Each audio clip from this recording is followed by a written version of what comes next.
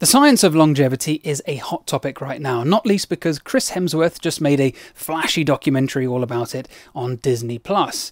But when the media tend to report on longevity science, they normally sell it as a way to make humans live to 200 or something equally sci-fi.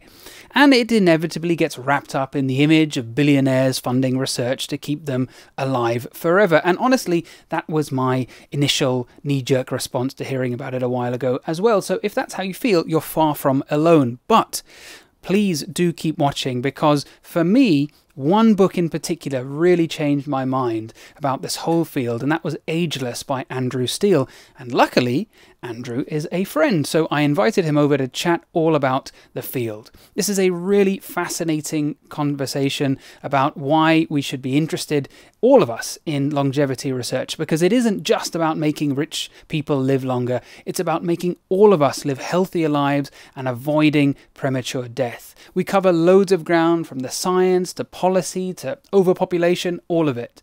And as this is a long conversation, you might prefer to listen to this as a podcast, in which case, just close your eyes. Actually, that's a lie.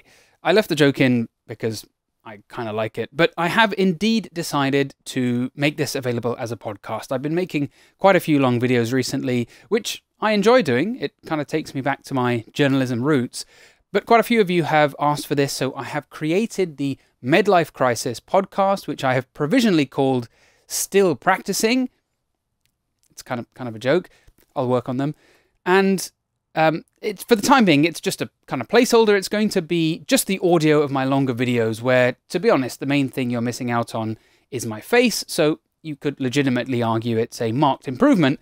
But anyway, hopefully by the time this goes up, it should be live in all the usual podcast places. And who knows, in time, I do hope to make it into a thing in itself. But for the time being, it's it's just going to be the long videos that you can listen to. But apart from further confusing the facial hair continuity in this video, I wanted to pop up now to quickly share something even more exciting with you. Some of you might know that I've been building a streaming platform with a bunch of friends since its inception, and it's going to be a major focus for me going forwards from, from now on. It's called Nebula, and it's a very ambitious project and so far I am just really loving working on it and being involved. It's a place where you can find exclusive content from me and hundreds of other creators. So, every video I release will go up on Nebula first by a good chunk of time. You'll be able to watch my next video, which is another deep dive, this time into the placebo effect, well before YouTube and I'm going to be making more videos specifically designed to have a home on Nebula, where of course I'm protected from the demonetization and restriction that has hit many of my videos wherever I talk about or show medical images when I've talked about death, surgery, things like the Holocaust, and uh, sort of grim topics, and many more. There are already hundreds of originals and exclusives for you to check out, and the roster of creators is unbelievable. I'm really proud of what we have built from Johnny Harris to RealLifeLore, Wendover Productions to Lindsay Ellis. Follow the link below to sign up via my channel so that the uh, the big boys and girls can see that I am helping in my small way. But you know, the whole idea behind Nebula is that it's a way that you can watch all of this amazing content but also directly support creators whose videos you enjoy. I've never really been comfortable with the idea of direct donation because I can go months at a time without releasing anything, but now think of this as a way to support me, so any help is hugely appreciated, but you also get access to all these other superstars as well. If you sign up using my link, then you will get $10 off the annual price, meaning it'll cost you just $3.33 per month for all of that content and the best way to support your favorite creators. But now, sit back and enjoy this honestly mind bending conversation with the extremely knowledgeable and entertaining Dr. Andrew Steele. Welcome, everybody. Today I have a very special guest. In fact, the first guest to ever come to my ramshackle, half finished studio all the way out in Essex. He's travelled half the way across England to get here. So I'm very grateful to Dr. Andrew Steele, who is initially, well, I'll let you tell your, your story because it's very interesting. But we're going to talk today all about the science of aging. And this, Andrew, is not a softball Russell Howard show interview where they're just going to serve up easy questions for you. This is not uh, your your opportunity, uh, like in the Royal Institution talk, to just uh, speak without any questioning at all. Today, you're going to face some tough questions, and I'm, I'm going to challenge some of the uh, the science of aging. I mean, there's plenty to challenge, so be my guest. Oh, okay. You're supposed to be more adversarial here. Oh, so, I'm, so, I'm sorry. Am I supposed to cower a bit? Would that help? No, no. Like uh, we want a bit of drama. Oh, I see. So aging is it's everything you've heard is completely legit. There's no uh, nonsense and bullshit science in this. I think. I mean, forever is the word I, I preferentially use in interviews. Excellent. If people mention immortality, I love it. Exactly. So this man alleges that we can all become immortal. But before we get to that, why don't we start with obviously thank you for coming, Andrew. Um, Thank you for having me. that, that's ruined the adversarial nature, hasn't it? um, let's start with why you got into this field. I, I know you talk about a, a special graph, which I think is a nice story. So why don't we do that? Yeah, so I started out actually as a physicist, which I guess is probably the reason that I could change career because of a graph, like that background. Um, and it was toward the end of my PhD, I started reading a bit about aging biology. And the graph I saw was the graph of your risk of death based on how old you are. Now, all of us know that older people are more likely to die, but just how much really shocked me. So, we're both in our 30s, and that means our risk of death every year is probably about one in a thousand. And I quite like those odds, because if that were to continue for the rest of our lives, we'd live into our 1030s on average. However, unfortunately, that doesn't continue. Your risk of death doubles about every eight years as a human. And what that means is that if we're lucky enough to make it into our 90s and unlucky enough that medical technology doesn't advance in the intervening time, we'll have a 1 in 6 chance of death every year. That's life and death at the roll of a dice. And you look at that as a physicist and you think, what is this sort of universal ticking clock that's going on inside all of our bodies? And what's really fascinating, that you know, that word universal, um, because if I were to, if you were to find me some undiscovered tribe in the Amazon rainforest, I wouldn't be able to tell you very much about them. I'm not an anthropologist, but what I could tell you is their mortality rate doubling time, as it's called, would be eight years. Their risk of death would double every eight years, just like you and I. And that seems to be a fundamental fact about being human. And so, you know, you look at that as a physicist, the, the arrogance that comes with that field, and you think, well, if there's this incredibly universal trend, there must be something going on. Maybe we can study it, maybe we can intervene in it, and, you know, potentially help people with what's the world's biggest cause of death and the world's biggest cause, I would contend, of suffering as well. Yeah, so let's let's sort of unpack that. When you say the world's biggest cause of death, you know, most people will think they'll look that up, they'll Google that, it'll, it'll come out as cardiovascular disease and uh, cancer and and uh, dementia and things like that. So, what do you mean when you say aging is the biggest cause of death? Well, let's get medical jargon. This is the right place to do that, I guess. Um, aging is the world's biggest risk factor. So, you know, you and I, we, you know, we could smoke, we could drink, we could, you know, abandon whatever healthy lifestyles we're attempting to lead and become the least healthy possible examples of people in our late 30s. Nonetheless, our risk of death would still be dwarfed by the risk of death of the cleanest living 80 year old who's had the best possible life. What that means is merely the fact of getting older makes you so much more susceptible to the cancer, the heart disease, the stroke, the Alzheimer's, all of these diseases that are the world's biggest killers. The biology that causes them is the biology that happens to all of us, you know, every day of our lives, not even of our lives, every day since conception. These processes have been going on inside and outside your cells that make these diseases much more likely. And if you sort of group all those things together, we call that the aging process, then that is responsible, if you do the maths, for about two thirds of deaths around the world. Okay, so I'll grant you that that um, there is clearly a common factor, and it, absolutely it is the the biggest risk factor for, for many of these conditions, and we've seen this again mirrored with, with COVID very dramatically. Um, and this is one of the jokes I make to patients sometimes. I'll, I'll, I'll give you a insight into the, the repartee that I, I uh, crack. Um, when patients have, say, a very slow heart rate, which isn't something caused by the usual um, kind of risk factors for, for heart disease like smoking and cholesterol. A lot of the time, it is purely an aging process. So they'll say, Is this something that I've done, doctor? And I'll say, That's just too many birthdays. And um, this is very much an accepted concept, right? That, you know, we slow down, things start working less well as we get old. Um, but you're saying that this is actually should be considered itself like a disease process. But what is aging then? I mean, is it, it, it seems like a very vague concept overall. Is it a nebulous combination of different things, or is it sort of one biological process that's happening? That is a good question, and I think it's there are multiple ways that you can answer that. Like the, the simplest definition of aging is it's that statistical change in your risk of death. And humans, our mortality rate doubling time is eight years. For a mouse, it's a few months. For some animals, actually, it's infinite. They don't have a risk of death Yeah, that changes so- with so time. So why don't you explain that a little? Because that's really so there's a there's this phrase negligible senescence, which is Mm. a, a whole bunch of jargon. Negligible obviously just means not very much. Senescence is just this sort of biological term for aging. And there are some animals like tortoises, like some kinds of fish, whose risk of death doesn't change depending on how long ago they were born. They become adults and they have the same sort of constant risk of death throughout their lives. They do eventually die, of course, because that risk of death isn't zero, but it appears that they don't age by this statistical definition. So that's sort of the simplest way to think about aging. The question of whether or not it's a disease or a disease process or perhaps a syndrome, I don't really like any of these words, mainly for actually a sociological reason, which is that I don't want to, you know, some 60 year old comes and starts chatting to me. I don't want to be like, sorry, love, you're diseased just by the fact that you've been on this earth for 59 years or whatever that might be. Sure. So I'm not really keen on that phrase. Whether or not it's a single process, um, let's let's let's argue that it is for a moment. The one way you could look at it is there are single interventions you can do that slow down seemingly the whole of this process. And sort of the classic example of this is calorie restriction. So we don't know exactly whether or not this works in humans. That's another discussion that we can park for a moment. But in all kinds of different animals, and this was first discovered in the 1930s in rats, you can feed them dramatically less, and they'll live dramatically longer and they won't just sort of be hobbling along frail you know unable to even summon the energy to die because they're eating so little.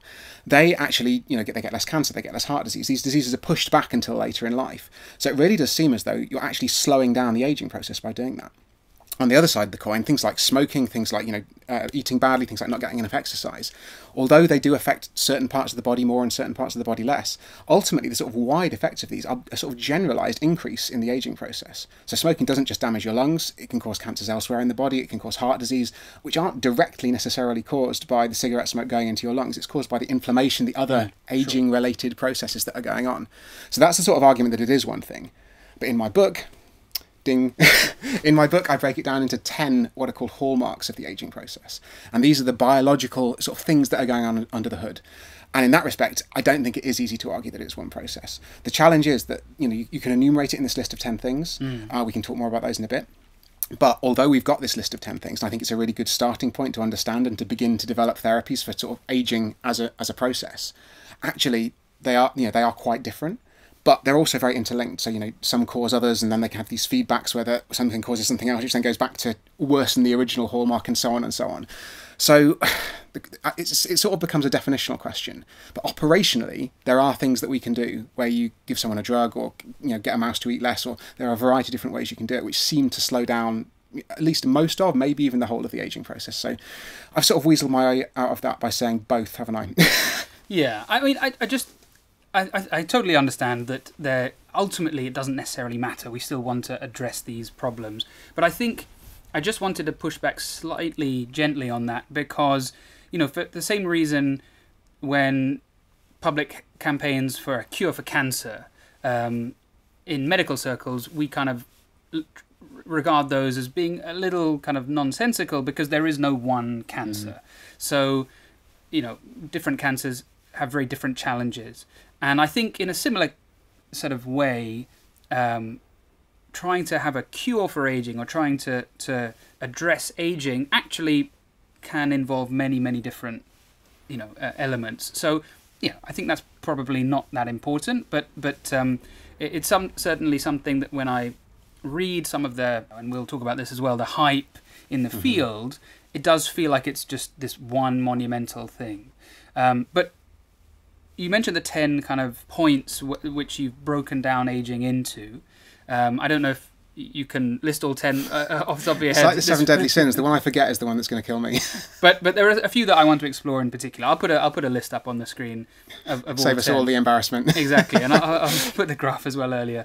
But uh, there are a few that I wanted to, to, to really concentrate on. So I'll start with uh, senescent cells. Um, so what's the concept there? And this is fantastically fortunate for anyone talking about aging because it's, it's the easiest to understand and it's the one where the treatments are arguably the most advanced. So, senescent, we've already come across that word, it's just the biological word for aging. And these were originally discovered because when you put a cell in a dish and let it divide, it can only divide a certain limited number of times. And in human cells, that's about 50.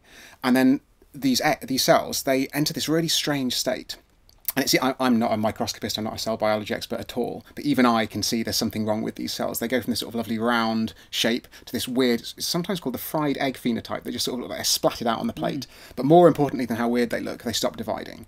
And that means that obviously a lot of places in our body, it's really important that the cells are dividing. Like our skin is constantly refreshing, the lines of our guts are constantly refreshing. And so if cells stop dividing, they're not fulfilling their function. And actually, it turns out this isn't just a process that happens in cells in a dish, it's something that happens in, in animals, in humans as well. We accumulate these aged senescent cells as we get older. And they appear to also be causal in the aging process. So, the more of these cells you have, the more likely you are to get various diseases. And by clearing those cells out, that's the sort of really exciting part. You seem to be able to slow down, maybe even reverse aspects of aging. So, so that last bit that you said there suggests that this is not this is there is a causal link here. This is not just a byproduct that we're seeing and actually removing the senescent cells has an effect. Yeah, and that's what's really exciting. And so I, I'm I'm pretty happy to say that like in mice, it seems to reverse how old they are. Yeah. So they've done an experiment in 2018. They gave some 24 month old mice. Obviously, mice live a lot less long than we do. That's probably like 60 or 70 years mm. old in human terms. They gave them this cocktail of drugs that kills their senescent cells. And these mice the reason I'm happy to say they got biologically younger, they lived longer. But again, like calorie restricted mice, they were living longer in good health. They got less cancer, they got less heart disease, they got fewer cataracts, they're less frail, so they got tiny little mouse-sized treadmills in these experiments, and they Yeah. run further and Yeah, faster you, on you, those. You, have featured some of these these clips and the, the pictures, and even to an untrained eye, it's it's apparent. It's really remarkable. Again, yeah, I've, I've never actually you know played with a mouse in the lab, but you can see that. I mean, that's the other thing. They just look fantastic, hmm. and you know, people are obviously very worried about the cosmetic aspect. good-looking aspect. mouse. Yeah, that Yeah. you can you can see it's got thicker fur, it's got less grey fur. Like even if you don't care about the health of your insides, just purely from a cosmetic standpoint, they look fantastic. Yeah, well, that's that's the way to sell this stuff, isn't it? It's just to tell some billionaires that they can look great. I remember chatting to one of the people I interviewed for the book who was working on um, the elasticity of blood vessels and how that might change because of alterations to the proteins. Yeah. And she was like, if I can fix the collagen anywhere in the body, I'd like to fix the collagen that holds your blood vessels together because that's one of the things that causes high blood pressure, that causes heart disease. But you might find, because the processes involved are very similar, people start taking these pills and they get sort of lovely, fresh, rejuvenated looking skin. And maybe you'll have people popping into their doctor, like asking for these things. Or you know, there there are some treatments being trialled for arthritis where you go and get, oh, my knee's really quite painful. Purely because you want the cosmetic side effects, because that's what's so exciting about some of this stuff. Well, you're you're not advocating. I'm this, absolutely not advocating for this. No, but I, I think what, what this shows us Don't, is definitely do not do this. I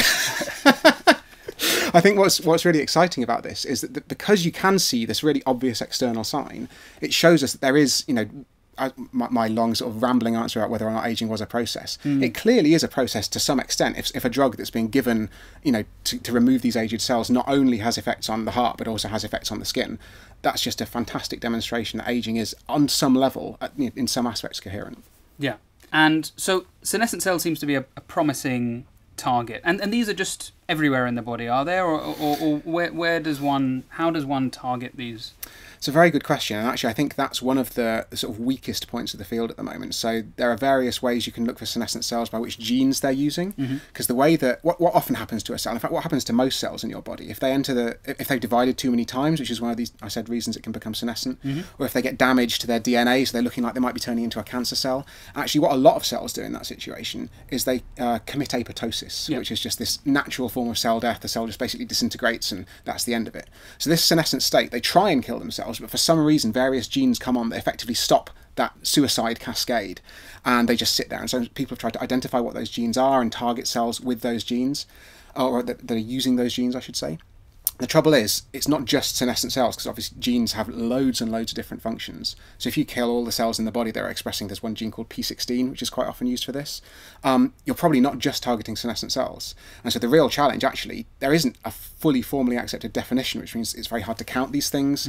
And what's really frustrating, and this is true in a lot of aging research, is you know, it might be that certain people get a lot more senescent cells in their liver, and other people with a different lifestyle or a different genetic background get a lot of senescent cells in their kidneys, or, or whatever it might be. Right. And we just haven't got the data at the moment. And I, you know, I really hope that that data collection effort is ongoing alongside the sort of rush to turn these things into drugs. Is, is there much human data for, for this at all? So there are a few, or there, there are 20 or 30 companies currently trying to commercialize this, and quite a mm. few of them have already launched human trials. They're all in the sort of phase one, phase two, checking, you know, does it kill people? Thankfully, not so far, you know, safety sort of side of things rather than actually working out whether or not they work. Okay. But it's definitely, you know, Should I invest? Great question. Well, if you watch the history of Unity Biotechnology, which is one of the biggest ones, their share price has been dwindling over the last few years, Oh, and it's it's, it's it's really fascinating trying to like work out. As a, I'm not an investing expert at all, so no, this is not investment advice. This is not financial advice. Yeah. Um, but just sort of trying to work out. Sometimes they can announce a really positive sounding trial result. I'm always very preliminary. It's not as though these things are rolling out into the clinic you know, next year or anything like that. But they announce a positive result, but seemingly it wasn't positive enough for the market, and the share price actually goes down. Wow, So it's it's really really hard as Yeah. a sort of you, you've got to be an expert not only in the biology but also in the sort of investing side of this. It's a it's a huge market opportunity. I can see why investors are interested, but yeah, it's a it's a risky place to put your money as a, as an individual. I would say. Yeah, I mean, um, you know, viewers of the channel who've, who've watched me before might be surprised that I'm slightly cynical. No, that you wouldn't be surprised at all uh, about uh, some of these these companies. Um, so that's senescent cells. Then I think one that people have heard a lot about before is telomeres. Um, so these are essentially the little end. Well, it's from the, the Greek telos, meaning end, and Check you out with your classical education. yeah, always you got to get the, the etymology in. So yes, telomeres. I think people have heard of. They're they're well. Why why don't you tell us what they are? Yeah, actually, there's a connection to the senescent cells. So the way in which a cell counts off how many times it's divided is that every time a cell divides, it loses a tiny bit of this telomere at the end of its Yeah. DNA. And this is, you know, it's, it's actually a bit bizarre because the reason this happens is that biology has happened across uh, an enzyme, which is the thing that goes along and duplicates the DNA when the cell divides, has to have a copy in each daughter cell. It duplicates that DNA, but it can't quite make it to the end. And the best analogy I've heard is that it's like imagine a builder. She's going on the top of a wall trying to build the wall as she goes, but she's then standing in the place so she can't place that final brick. And so what that means is that this these things start out like a few thousand or maybe 20,000 base pairs long when you're born, so 20,000 DNA letters, and you lose perhaps 20 of those a year on average. And perhaps every time a cell divides, you lose 100. Or, you know, so they're, they're gradually getting shorter and shorter throughout your life. Yeah. And um, what that means is, you know, maybe this is a candidate course for aging. It's something that changes as you get older. And so you can look at the sort of observational data. This is where we just get some people in the public, you know, Yeah. find out how long their telomeres are and see what happens to them. And people with shorter telomeres tend to die sooner. They tend to get diseases more quickly. There are some very morbid twin studies where they find that the twin who has the shorter telomeres tends to die before the twin with the longer telomeres. That's Um, very interesting. But the problem with them as a sort of measure of aging is it's really, really noisy. If you look at some of the raw data, you Mm. have some 20 year olds who have telomeres the same length as the 90 year olds that have the longest telomeres. That's Mm. I, sort of. I was surprised when you, you showed that um, like scatter plot because Mm. the, the the trend was not that strong the No. correlation. Um, so that's interesting because uh, the the the teaching I'd got about it, uh, the analogy that I, I'd been told was the, the little bit at the end of your shoelace. Mm. You probably heard that one as well. Um, it's the reason I know the word aglet. That's what they're called. Is that what they're called? Yeah. I mean, I, I, if I hadn't gone into aging biology, I would not know what that if was to this day. don't learn anything else from this interview, you now know the end of your shoelace is called the aglet. Was that it seemed like it was quite a linear kind of thing, uh, as it just gets shorter, and then you know once it's finished, you're dead, kind of thing. But it's not that simple based on, on what you were saying about observed length of telomeres. However, there's this association with shorter ones seeming to have a poorer prognosis. But it gets more complicated when we've tried to actually intervene with this. So what, what what's happened there? It's been a really interesting story because but I remember watching a Horizon back in the 90s when I was at school, and they were basically like, we found telomeres, we found this thing called telomerase, which is an enzyme that can add extra bits of telomere on the end and extend them. We're all going to live forever. And there was this huge amount of hype when that gene was first isolated, first discovered. It's, you know, it's won a Nobel Prize in 2009, so it's, a, it's it, biologically it is a really big deal. Yep. But the challenge is, um, if you can extend a telomere indefinitely, that cell can then divide as many times as it likes. And medical audience members will now be thinking, what do you call a cell that divides as many times as it likes? We call it cancer. So by um, giving, uh, for example, a mouse, you can give it an extra copy of the telomerase gene that's constantly on, that's constantly extending those telomeres. You're kind of pre-ticking a box on cancer's checklist. Cancer wants to have that uh, additional telomerase to keep on extending those telomeres to carry on dividing and form a tumour. And so what they found was if you just give mice an extra copy of telomerase, they all die of cancer. They don't live longer. They actually live less time because they, they all you know come down with cancer in their youth. So that seemed like uh, really bad news. And actually, I think in a way, scientists are wired to be cynical. And I think Yeah. scientists actually sort of overcompensated on receiving this news. They were like, we had this thing that was going to be the immortality enzyme, it was all over the media, and ha ha ha, it just causes cancer.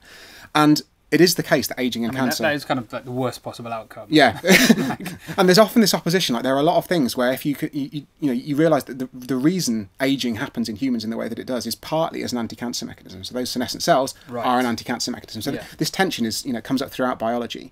But I think scientists, like, as I say, ran a bit too hard with the cynicism. So can you titrate it a little bit? Well, this is the question. So there have, and there have been various more interesting studies that have happened in the intervening time. There's some really interesting stuff um, out of a Spanish lab run by Maria Blasco, and what they did was they sort of they kept running with the telo- telomerase torch. And the first cool experiment they did was in 2008, and they added extra telomerase to mice, but they also added three anti-cancer genes. And so the, the, the logic being that these these are genes that sort of look for damage in the DNA, cause the cells to do that apoptosis suicide thing sooner. And what they found was the mice lived longer, and those anti-cancer genes seemed to prevent the additional cancer, which is really exciting. And I think that the, the sort of reason that worked is actually quite insightful into aging biology as a whole. Because you might think, oh, the aging process it's super complicated, we can't possibly intervene. But actually, when you think about sort of what evolution was trying to optimize for, evolution was primarily trying to optimize for reproduction. Hmm. And so a, a mouse in the wild that had this genetic modification had more telomerase and more of these three genes, it will probably not survive as well as its its you know its neighbours who didn't have that modification. Because you know I guess the way you can think about it is it's expending energy, killing cells, and then generating new ones, whereas its mates are just like reproducing like hell, and they're going to end up out competing it. But since we, you know, we effectively live in a lab, humans have manufactured their own environment that's much mm. more similar to a lab mouse than a mouse living out in the field. And what that means is that we're optimizing for a different thing than evolution was optimizing for. And so we can perhaps optimize for longevity more easily than we might think.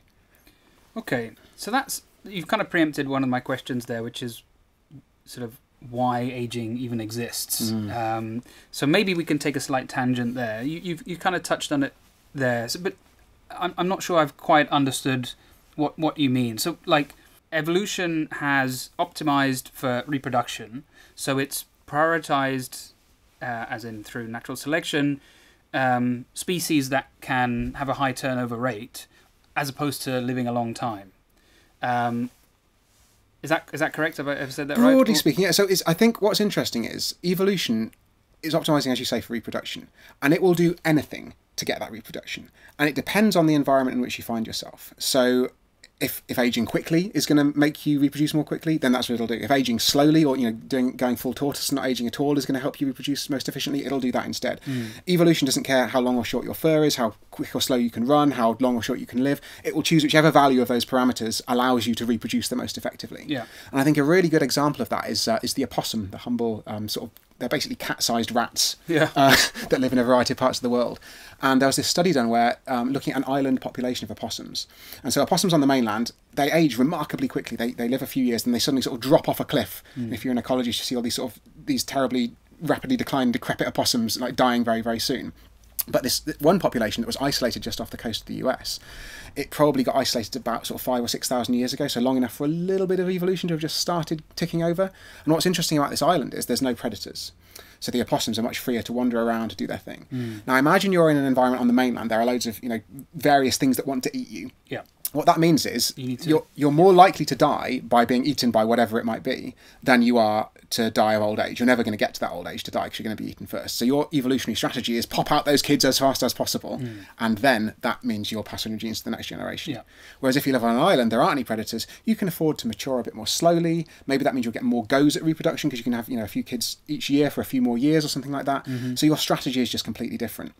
And if we look at you know sort of opposite ends of the mammalian survival spectrum, then something like a mouse, its environment is really threatening. There are cats with sharp claws. There are um, you know there's diseases. Mice are so tiny they can just die of exposure on a winter's night because their you know their surface area to volume ratio is bad and they just chill out. In that sounds very very nice, doesn't it? Actually, they they, they, they freeze to death. Basically, it's horrible. Um, why am I laughing? Good question. Whereas if you think about the other end of the sort of size and longevity scale, something like a bowhead whale, which is the Yeah. longest lived mammal, Yeah. they're enormous. They have very few natural predators. Uh, they can afford to have, you know, they, they reproductively mature much, much later. They live up probably over 200 years, we think is the estimate, which, Mm. you know, compared to a mouse that probably lives six to 12 months in the wild.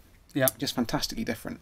So evolution will do whatever it wants in terms of lifespan, Yeah. and it's just massive. It's it's much more malleable than we'd think. So I think a lot of us think that aging is this inevitable process, and that happens because you know all our friends and family age, our pets' age, our farm animals' age, because we're all mammals, and mammals all seem to be part of an order that ages for evolutionary reasons.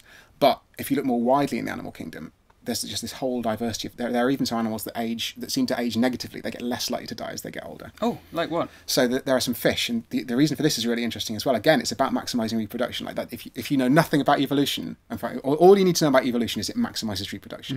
And that's because you get these um, in fish most of the reproduction is done by what are called BOFs which is this fantastic acronym. It's big old fat fertile female fish. So I think there are four f's on the end of that word. Okay. and these big old fat fertile female fish, what they what they do is, yeah, it really is. Um, they when, when they get to a certain age, they're they're much much bigger. Obviously, that hence the acronym, and they can produce more and more successful eggs, and by by factors of like dozens compared to younger female fish. And so what that means is that by far the majority of the reproduction is done by the handful of fish that make it to that old age. And that means if you make it to that old age, evolution has a huge incentive to keep you alive and pumping out those eggs It's like some sort of fish Hunger Games. like the winner gets the spoils. really really takes all and Wow, like okay. so therefore evolution you know maybe they age at a normal ti normal pace during their youth while they're at risk of being scoffed by a larger fish but once they get to this large size where they're too big to be eaten and you know pumping out Too those big to fail. they, they are the banks. they're being bailed out by their sheer efficiency in producing eggs Right. and so you end up with this negative senescence which is a really That's, fascin- that's a new one to me. I've not heard of that. But certainly the, the sort of negligible senescence Hmm. species. I was going to ask, do they achieve sexual maturity later as a rule? That, that yeah. So normally there's there's this sort of there's a weak correlation between size and lifespan, which is probably mainly to do with like most big things are harder to catch and eat in mm. various ways. It also might be the correlation runs the other way, or sorry, the causation runs the other way to some extent because it takes a long time to get big. Mm. But there's also a correlation between age of sexual maturity and lifespan because obviously you don't want to reach sexual maturity at you know two and a half if your average lifespan is three. you've Yeah, got to you've got to get pretty busy in that last six months. And are there any species? I mean, I guess you can't have the best of both worlds. You can't achieve that sexual maturity quickly and grow, and then have a long life. Are there any species that kind of do both? I don't think so, and I think that the, the sort of I think this is probably slightly wrong, but I think it's a good enough analogy that we can run with it. Is that imagine you're like putting together a body. You can either do a slapdash rush job, which means you're gonna not bother with cancer prevention mechanisms. You're not gonna bother making sure the arteries don't get calcified and full of plaques and stuff. Yeah. Or you can do a really careful job and assemble everything really slowly and do all the checking on the DNA to make sure there aren't any mutations every time anything happens. That's going to cost a lot of energy. Yeah. And so that means you're going to mature very, very slowly. You, you know, you have to by definition. Whereas if you whack the body together quickly to get it to reproductive maturity, it's just going to fall apart. Which So- one are we? Well, we're, we're in this strange middle ground. We live a very long time for our body size. Mm. Um, and that's probably actually mainly a social phenomenon, which is really interesting. Because we're this animal, we can club together and we can reduce our mortality by, you know, the whole being the sum, greater than the sum of the parts. Yeah. Um, so we live a very long time for our body size, but there's this really fascinating theory, and I, I don't even know if there's a way to prove this. But because when the when the asteroid smashed into the planet and killed all the dinosaurs, 65 or all the ones that didn't turn into birds, I should be more precise, 65 million years ago, the few animals, the mammals that survived were mainly the small mammals that could mm. reproduce quickly. Yeah. And what that means is they are in this category of you know burn fast, die die young sort of thing, you know reproduce really quickly.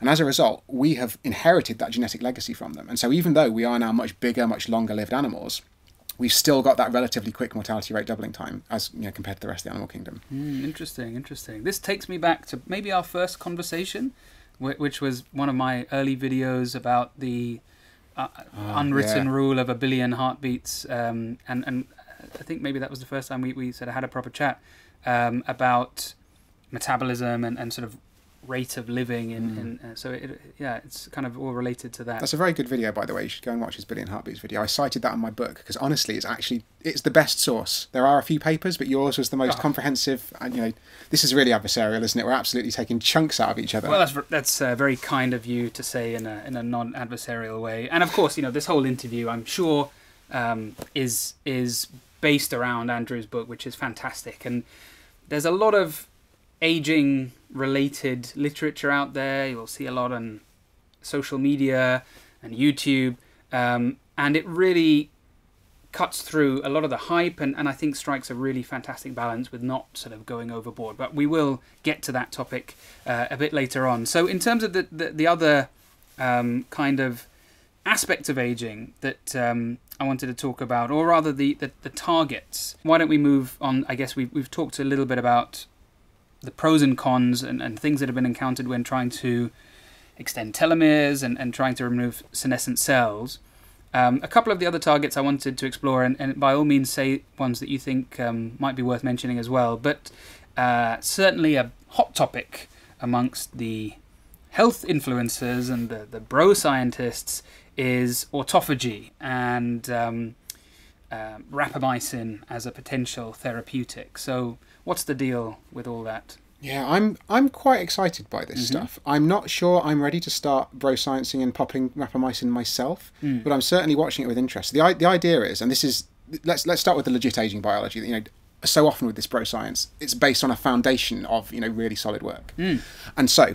Uh, the reason that we're interested in autophagy is this process of sort of cellular recycling. So auto, oh, we're going to do the derivation again. It's auto, self, phage eating. It's the way that cells like eat their own internal components and then use them to build new components. And so what that means is, um, if you say, for example, you, you don't eat for a day, then your cells haven't got this incoming source of sort of fresh dietary protein. So if they want to manufacture a particular protein, they're going to have to scavenge the parts from around the cell. And it turns out that when cells do that, they preferentially break down the older, damaged versions of proteins, mm-hmm. and then they can recycle those components. And so it seems, but it seems that if you you know if you gorge on food instead, it uses the lovely, fresh, pre-existing dietary protein and leaves the old, mm, sort of worn-out components lying around the cell. And with this sort of very basic our aging is this sort of accumulation of damaged bits and bobs, which is a, a you know very popular idea perhaps in the 80s and 90s. Um, it seems that by clearing out some of that damage, you're, you're going to be reducing the aging process. And as I say, it's related to what, you know how much you eat, and calorie restriction is probably the most robustly tested intervention that slows down the aging process. So that all seems fairly solid. And it turns out that autophagy is regulated by something called TOR, and TOR is a, um, a gene, a protein. Um, stands for target of guess what rapamycin and i think this is just a really fantastic example of how you know biology it's, it's just so messy the reason we know this protein exists isn't because we did you know we, we sort of delved inside the cell and you can count every single protein it's because we found some drug rapamycin come to that in a second which can get in there and clog up the workings of tor and what that does is by clogging up those workings increases the level of autophagy and increases this level of cellular recycling so let's tell the story of this this drug because I think it's so cool. It's just great got this. story. It's It's great ri- th- story. every, every stage of it is beset by ridiculousness. So it started out in the 1960s when. Um, the island of Easter Island, which is the one with the massive stone heads, which people will probably be familiar with, called Rapa Nui. I can see where that's coming from a bit later. But that's the, the, the Polynesian local word for the island. And that island was um, it was sort of contested Chilean territory. It's, it's 3,000 kilometres, I think, off the coast of Chile. It's right in the depths of the Pacific Ocean. But the Chilean government decided they were going to build an airport. And the Canadians looked at this and went, wow, this island has been you know, perfectly pristinely isolated thousands of kilometres into the ocean from any kind of human influence other than the people, you know, the native inhabitants for such a such a, you know for centuries and centuries. We should go there and like sample everything about the people, the landscape before um, you know this airport comes in and ruins it. It was good foresight. So they set off on this massive naval ship called the, the USS Cape Scott, and they, they landed. And this whole story is completely ridiculous because at the time some Chilean troops were landing and trying to like impose order on the on the on the locals. There was a rebellion. Uh, the scientists sort of get, got caught up. Thankfully, not in the crossfire. I think there were a couple of shots fired, but nobody was killed. Um, in the sense that the the leader of the rebellion ended up hiding out in the scientists' camp and then escaping dressed as a woman, and went on to become the mayor of the island. Wow. And while all this chaos was unfolding around them, they were diligently taking their samples and documenting everything. And although they took thousands and thousands of samples, perhaps the most significant was a little file of soil they picked up from somewhere on the island. And um, when they took it back, that it was kept in storage for about I think six or seven years. Yeah, years, yeah. Until a scientist uh, working at a drug company called Ayerst was um, he was playing around with the bacteria that they found in this soil sample, and they noticed um, a little bit like the sort of story of the discovery of penicillin, but done in a more systematic way. They noticed that where these bacteria were, fungi didn't tend to grow on the plate, and so they thought, "Wow, this is a fantastic antifungal agent." And so they spent a really long time trying to uh, trying to use it as such. This scientist even actually took a little sample home and gave it to a neighbour with athlete's foot, and it seemed to clear, clear it right up. So it did seem to be working in that respect. But in spite of years and years of effort, and anyone who's ever you know worked in wet lab science will know this frustration, um, they just weren't able to formulate it into a drug that was actually you know able to be used in humans. And in the early 80s, Ayerst, this drug company, decided to shut down the program. They said this, you know, this is not going anywhere. Um, you know, it, it's, it's not going to be successful. So, this scientist, undeterred, uh, stashed some of these bacteria that um, I, that that were found in this soil in his freezer at home. Um, he was forcibly relocated in, by a, his in a yogurt tub. yes, right? marked "Do not eat." Yeah. and he was forcibly relocated. This, this makes it sound uh, like like fascism. He was forced to move because of his job, basically, because the, the- you know this this lab was closed. He was forced to move to the US. So he taped that freezer shut during the removal process, stuffed dry ice into it to keep these bacteria safely preserved, and so effectively smuggled drugs across the US Canada border. Yeah, yeah. And finally, you know, after years and years of trying to persuade them, managed to get this this reinstituted. And actually, what they were trying to do, I sort of skipped a bit of this story here because although it stops fungal growth, it turns out that because it targets Tor, which is this is something we now know with hindsight, he didn't know at the time, but that's a fundamental constituent of all. Um, all basically complicated cells. So anything from fungi to you know to fish to us to plants, um, they would all be affected by this. And so, um, what, what what they thought was it seems to slow down all cellular growth. What's a good thing if you can slow down cellular growth? It's a cancer drug. So they kept on trying and trying and trying to turn it into a cancer drug, but they also found that it suppressed the immune system. It's a, it's a long and complicated story. Um, it ended up finally being approved as an immune suppressant for transplant patients. But because it's uh, targeting this TOR, which is such a fundamental part of how our cells, um, how they age, how they grow, how all kinds of different processes are regulated by it, it's actually a cardiology angle on this as well, which is that um, when I was trying to work out how many lives rapamycin had already saved for the book, and this is one of those statistics you, you can't just look up, but I think probably the most lives it saved is because you can coat stents in rapamycin. And then when you put them into the patient, they don't. It sort of discourages the artery wall from growing. You, you, you know this better than I do, but it sort Yeah. of discourages the artery wall from growing, and then therefore keeps it as wide as possible for as long as possible, and so keeps that nice and wide. Have I got that right? Yeah, yeah. So I mean, it was it was it was one of the first uh, agents that we we impregnated and coated stents uh, with because when you put in bare metal stents, you'd get very early uh, endothelialization of the uh, stent and would rapidly, uh, you know. Narrow narrow just again. as badly. So uh, this was one of the early drug-eluting stents, and since then they're they're now we're sort of fourth generation. But yeah, absolutely, rapamycin was was was part of it. I actually did a, a podcast called the story the story of the stent where we, we went into this. So the, the, just just because it's a nice tidbit. The do you remember the scientist's name? Was Sehgal, was it? Uh, Yeah, Suren Sehgal. You Yeah, might, you might yeah, be so pronouncing he- it better than me. yeah, he was an Indian, uh, a Canadian, and then resettled in, in America. So uh, nice nice little um, character in Yeah, in there's a great history. Radiolab episode where they Yes, interview his that's the one. kids. Yeah, Uh, yeah, it's yeah, yeah, fantastic. Yeah, yeah. I really enjoyed that. And I think even his, his, his was his wife. I think his wife's in it as well. and saying how you know there's just this yogurt pot in the freezer for years, so it's a great story. Um, Tolerant wife. indeed, um, the so yes, so let's bring us kind of more up to date with rapamycin. Yeah, sorry. So that story is, is just great, it's It's, great. a I it's mean, a massive sidetrack. Um, and, and it's but it's nice to you know color color in uh, a lot of the characters in, in this history. So yeah, so rapamycin now. So fast forward. Uh, there's, there's there's there's yet another roadblock before we get to now. Actually, Okay. so let's let's go through that. So the because it intervenes in this uh, autophagy process, people knew that dietary restriction has an extended life. It was known that if you knock out the gene or one of the genes responsible for autophagy, you can stop the effect of calorie restriction. So people thought that this auto- autophagy seems to be a really central process in aging. So they then thought, well, we've got this drug that can interfere with that process. Why don't we try it? So they tried to give it to mice, uh, and there's this thing called the interventions testing program. Um, this is a really fascinating sort of exercise in itself. This is the most robust data we have on clinical interventions, or albeit clinical for mice. Uh, that's done in the US. There are three separate labs spread around the country. So the idea is that if there's any you know accidental bias being uh, you know induced by any particular lab's protocol, it'll get washed out when you average it across those labs. They have really large cohorts of mice to keep the statistics nice and robust. They also use uh, wild type mice, which is just a bit of jargon to say these are these are normal mice. These Yeah. aren't wacky genetic you know inbred mice, which are often used in lab research. So this is the most robust measure of whether or not anti-aging drugs work. And rapamycin, well, they tried to test it and they discovered that when they gave the way the way you normally give a drug to a mouse, the easiest way to give a drug to a mouse is to put a bit of the drug in the water, and so the mice will drink it up. And when they measured whether or not the drug was making it into their blood, it wasn't. They discovered that their formulation wasn't you know wasn't, wasn't working orally, and so it took them two years almost mm. to actually turn it into an oral formulation. And by this time, the mice were 20 months old. And that, that, as we've discussed, is quite old for a mouse. And so mm. a lot of the people, you know, a lot of the scientists involved, like, what's the point? You know, if you imagine this drug slows down aging, say it slows down aging by 10%, let's just pick a random number out of the air, then if it's if you start at birth, then that might make you live 10% longer. But if you start 90% of the way through your life, you might live mm. 1% longer, it might be statistically indistinguishable, like why are we even bothering? But they thought, you know what, we've got the mice, we've got the drug, might as well. And they did. And so not only was this the first and best demonstration of life extension in mice in a trial like this, but also fantastically, and you know, this is very exciting for any people over the age of 60 watching, you know, you can take this drug late in life. You don't have to start it as a 30 year old and that, that will then extend your life. It seems to do something even if you start at an old age. And so, because of you know this success in the interventions testing program, it's then been far more extensively studied in a variety of different animals in you know, all, all kinds of different places, and it is probably the most robust intervention we have as sort of a classic drug that can seemingly slow down aging.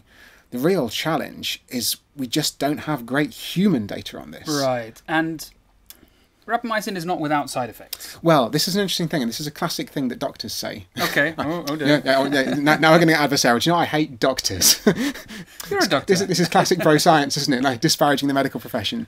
Um, so the, the so uh, uh, let's give an example. I um there's a there's a biologist called Lynne Cox who's a professor at Oxford um, Okay. who I chatted chatted to about when I was writing the book about autophagy and all these kinds of things. And during COVID, she amongst others, she wasn't the only person doing this, but she amongst others was trying to get um, rapamycin or rather a rapalog, a slightly different, a tweaked version, but basically the same drug, into nursing homes. And the idea is because of its various effects, it seems to, in small doses, improve immunity. Now, it's really important to say the reason doctors are very skeptical of this is because it is an immune suppressant. That is its. That's what it's approved for. It's the only thing it's approved for, in fact, as far as I know. Mm. So, if a transplant surgeon has ever heard of rapamycin, or you know, or any doctor, they've heard of it as an immune suppressing drug. What the hell are you doing? Going into a care home, a bunch of like nonagenarians who are already quite unwell. They're about to get. Why are you before COVID trying to give them a drug that will suppress their immune system? And I think that's caused a huge amount of skepticism in the medical community. But the doses that are hypothesized to be effective against aging, and in fact to be effective to improve immunity, are much, much lower than the classic immune suppressing doses. But this is a really, you know, doctors are very familiar with the fact that drugs at different doses can have very different effects. But I think this one is just so counterintuitive that, uh, you know, it, it invites a lot of skepticism, particularly if you're a busy doctor in the pandemic and some some mad scientist comes at you and says, "Why don't we give this immune suppressant to a bunch of people in a care home?" Understandably, there was well, some concern. I mean, doctors were giving all kinds of crazy things. So I don't know. Maybe, Yeah. maybe you'd have Maybe you have to go to the right doctor Yeah. or yeah. the wrong doctor. Um, okay, but this is not new. So why don't we have the human data? What, what what's the problem? I think there are a variety of roadblocks. Um, some of them are regulatory, some of them are cultural, some of them are financial.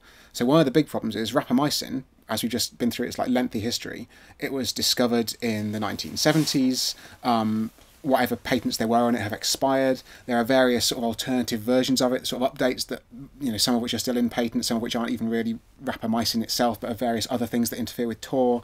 But ultimately, you know, rapamycin itself you can get for pence per dose.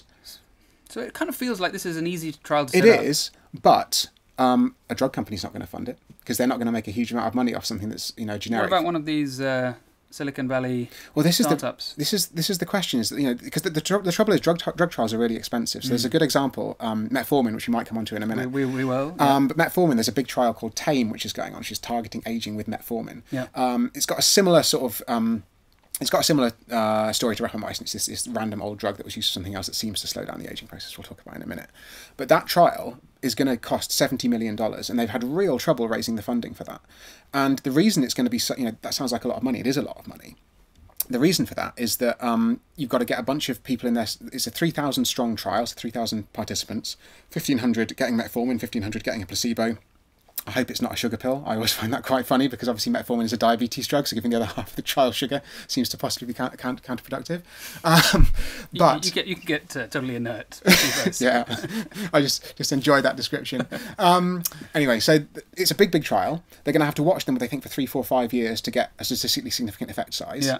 And that means it's just going to cost a lot of money, even though the drug itself is phenomenally cheap. Sure. The, the trial It's- infrastructure it's- is really yeah. expensive, and nobody stands to make any money at the end of that trial. I just feel like you know you've got so much interest in this field, and particularly from billionaires, you know the Peter Thiels and all the, these kinds of uh, um, Jeff Bezoses who, who who want to essentially cheat death and live forever. I mean, let's let's call a spade a spade. You know, th th I think that's their motivation. Seventy millions, just, just drop in the ocean. You know, like I just find I, I've got a little lack uh, difficulty understanding why something like metformin, which we you know uh, we'll talk about in a- in a second.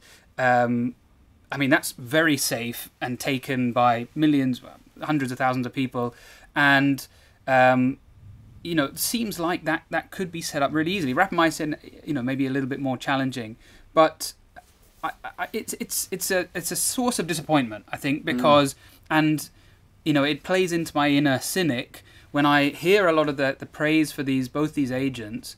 I say, come on, then show us. You know, you, Yeah. you've got, you've got to show us. You can't just keep saying this, this is going to work. This is amazing. I want some real world data. Yeah, and it's really frustrating because I think imagine you know it's it's fun to dunk on billionaires. I'll, I'll you know I'll join in that game if you like, but I think also it's really frustrating from a government point of view because mm. the amount of money that aging costs us, and I think we'll get onto this later, but you know, it, it causes Alzheimer's, cancer. Sure. If we could delay those diseases even by just a few years, there are trillions of dollars on the table. So if some government could just stump up a measly, you know, 50 million, yeah, 70 you're million. expecting sort of forward thinking from a government. yeah, there, which, that's, um, that's, that's another problem. I've not, not really counted in, in my lifetime at least. Um, yeah, so let's talk about metformin. So metformin, for, for those that, that don't know, um, is, as you say, cheapest chips. It's uh, it's a diabetes medication, um, which is you know first line. So if someone's diagnosed with diabetes in the UK, type two diabetes, the first agent after trying lifestyle modification, the first agent we would start would be metformin. So you know very very familiar, off patent, but then it seemed to develop this second life. So uh, how did that happen? I think the most interesting and convincing data come from this Scottish study, um, where they were. It was a medical record study, so it was retrospective. They were looking back at what happened to a bunch of patients, and they found that. that so they, they, were actually the ultimate aim of the study was to compare metformin and sulfonylureas. You can mm. tell me if I'm pronouncing that correctly, Correct, which yeah, is another yeah. kind of diabetes drug, and so that was the, the, primary endpoint. They were looking at those two different groups of people. They were also being try and be as rigorous as possible. They included a control group who were taking neither of those drugs, and obviously the reason they were taking neither of those drugs is because they didn't have diabetes, so they weren't prescribed them. And what they found was metformin is better than sulfonylureas. That is one of the reasons it's the first line therapy.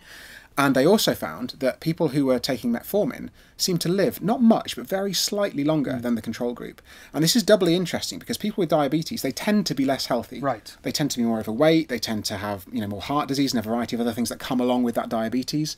And yet, if they're on the metformin, they seem to be living yeah, it was a few months. It was a small effect, mm. but nonetheless, they start out less healthy and live longer. You know what on earth is Yeah. going on there?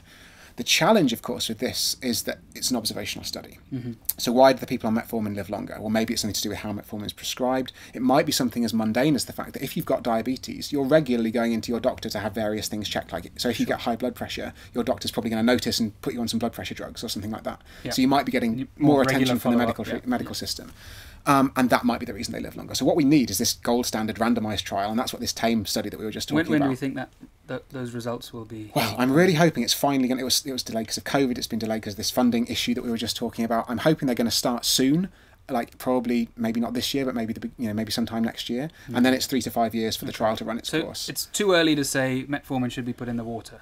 It's a very tricky thing, isn't it? Because I think, and this is actually a sort of a widespread. It is too early to say metformin is put in the water. Let's make that clear before I start my answer.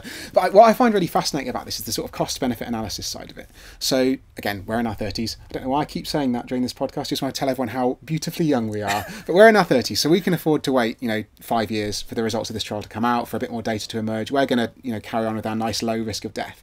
But if I was 70 and I looked at the data for metformin, it is not a slam dunk, and I'm not giving medical advice. I'm not even the right kind of doctor to be giving medical advice, let alone on a YouTube channel.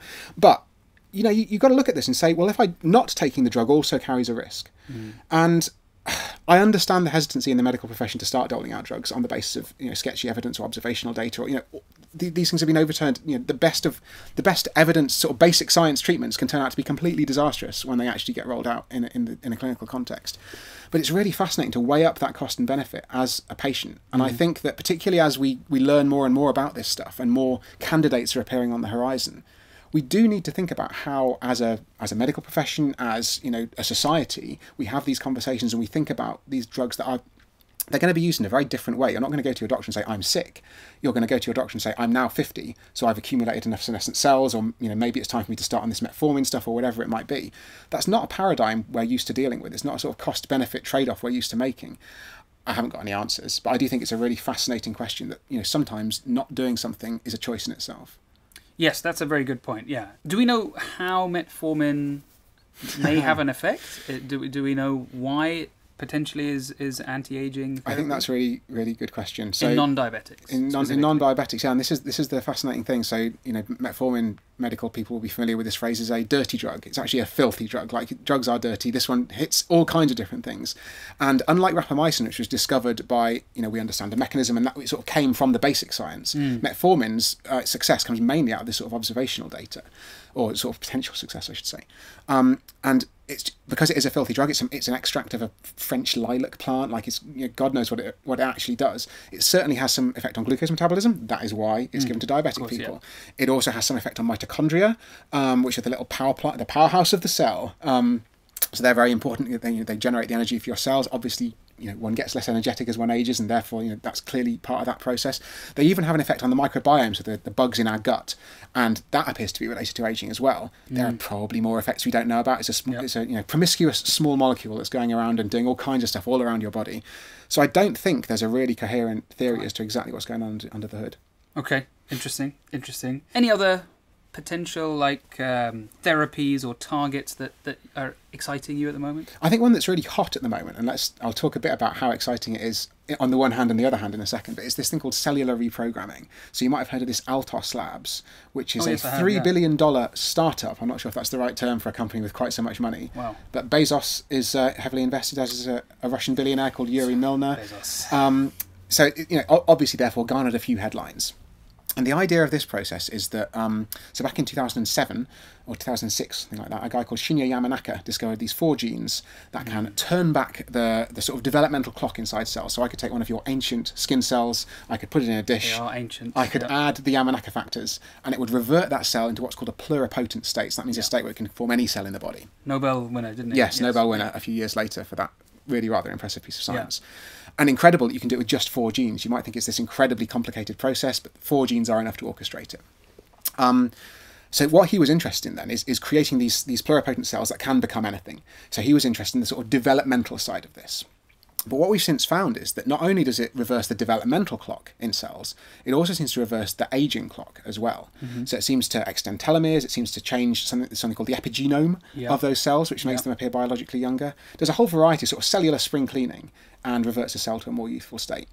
And there have even been some um, experiments in mice where they've, uh, if, if you activate the Yamanaka factors like 24 7, you give them, just give them the gene, then again, cancer. This is a really common, as I said, sort of tension in aging biology because you, you do differentiate into these pluripotent cells, you get these disgusting tumours, they're called teratomas, mm. because the cell doesn't have any signals to tell it what to differentiate into. So it goes wild, goes everywhere. You get these horrible lumps of like matted hair and teeth and bits of eyeball and all kinds of disgusting things. If you ever find yourself in an anatomy museum, I would highly recommend going to check out some teratomas because they're just They're often intrauterine. That's where they're often found. Yeah. So you get these masses out of women's they're, uterus. I mean, if, if you sort of divorce yourself from the way in which they were extracted, they're gloriously grotesque. yeah. yeah. Um, so obviously that's bad news. We don't like those uh, in general. So therefore, again, very cynical. Oh, it just causes cancer. It's no use. And also, uh, this know, is very much a theme, isn't it? It's like, oh, it's promising, promising, promising. Blam, cancer. and actually, these are even like- worse than that. These have got a second side effect, Right. which is that liver cells work in your liver to do liver stuff because they're liver cells. So if you de-differentiate them back into pluripotent cells, pluripotent sounds super powerful and exciting, but it doesn't do liver stuff. Hmm. So you're you're going to get massive organ failure as well. So there are multiple. You'll probably die of the organ failure before the cancer manifests. To be honest, it's a horrible You way to go. revert to a big blob of undifferentiated cells. Yeah, it, it wouldn't be ideal. It's not the sort of anti-aging therapy I dream of. No. But what they found was that if you give these genes in such a way as they're activated by a drug, and that means that you, they only turn on when you give the drug, Okay. you can. Um, th- and the way they did this in mice, they effectively gave them uh, these genes active at weekends. So it was two days out of every seven. They found that then you seem to be able to rejuvenate something in the mice. And without causing all these cancers, without causing all the organ failure. This is a really early stage experiment. It's important to emphasise. This was done in prematurely aged mice. That, that's, there's a whole load of caveats associated with that that I won't go into now. But suffice to say, it's not you know ready for the prime time yet. Um, and what's really sort of vexing about this therapy, it's I'm I'm genuinely excited by it. You know, don't don't let the cynicism overshadow that. Um, but it feels to me like a therapy that's fallen through a wormhole from the future. And what do I mean by that? I mean like um, it's it's this incredibly powerful. It's sort of a Too, cheat. too powerful. It's a cheat code for biology. Right, yeah. It's like how, how is it that we've come up with four genes that can turn back the clock? The question is not does it work. I think it probably works to a fair extent, and we're going to you know they're three billion dollars to find out whether or not it does. The real question is can 2020's biotechnology and medicine turn this into a workable human therapy? I'd be assuming it works, and we don't know whether it does or not yet, but assuming it works, which seems fairly likely, I can well imagine in 2100 that humans will be having themselves reprogrammed in some way, shape, or form. However, you know, gene therapy is not ready for the prime time yet. Certainly not for you know healthy people as they will be currently defined by the medical system. Um, so what we're going to have to do is just just wait and see if we've got the sort of biology chops to turn this into a working therapy. So hugely, hugely exciting. Literally turning back the clock in cells. Like that's Yeah. that does sound like I'm talking bro science nonsense, but it's real. But then, can we actually put it into practice? Right. That's. Uh, I'm going to ask you towards the end of the interview your predictions for the future. So we'll, we'll, we'll, we'll talk about sort of what the future might look like.